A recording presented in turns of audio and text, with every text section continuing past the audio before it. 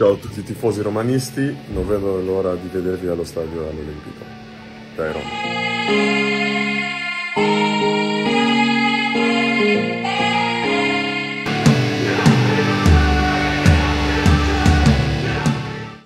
AS Roma akhirnya resmi mengumumkan transfer Romelu Lukaku dari Chelsea.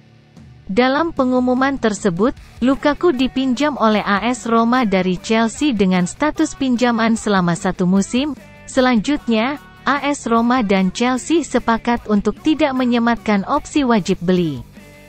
Itu artinya, Lukaku akan kembali ke Chelsea pada musim depan. Setelah Lukaku bergabung, AS Roma langsung mencetak sebuah rekor.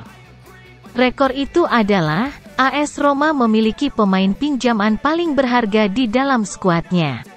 AS Roma memiliki nilai pemain pinjaman hingga menyentuh angka 92 juta euro atau setara 1,5 triliun rupiah.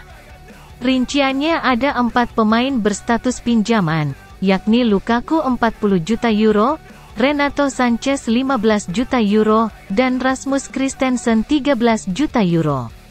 Ditambah dengan Diego Lorente 12 juta euro dan Sardar Asmun 12 juta euro. Nilai skuad yang dimiliki oleh AS Roma membuat mereka mendapatkan pemain pinjaman paling berharga.